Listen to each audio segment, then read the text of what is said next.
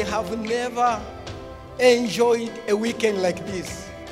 We have come to give thanks for a God that is a sun and a shield. See what grace has done. Look at the joy that was here. We are on a journey. It's a journey by grace. Many of us are passing through the valley of Baca when we are faced with the challenges of life. Lo and behold, the grace of God. Those who are saved by grace, they convene. Then his glory, the glory of God, will certainly manifest. I have found a house uh, where I get my grace and glory. Glory is the evidence of God's grace and God's favor upon you. Thank you so much for praying for me. I'm alive today because of the God's grace. Because of your prayers. The glory of God will create the pathways that I need.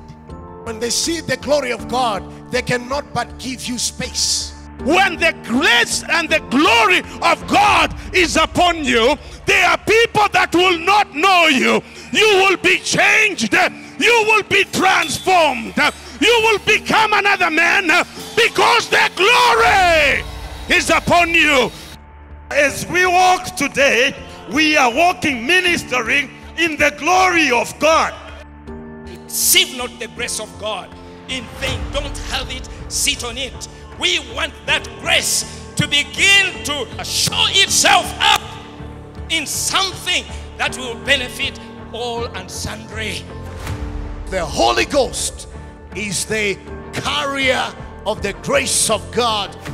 You receive power of sonship, power to witness, power to cast out evil spirits. In this convention, if you receive healing, it shall be protected by the grace of God. Am protected because I am behind the shield. No matter how bad you have made your current situation to appear to you, God will get the glory from your life. Whether you're sick, it is terrible. Still, God will turn it for His glory. God is turned your situation around. And shine, for the glory of God is risen upon you.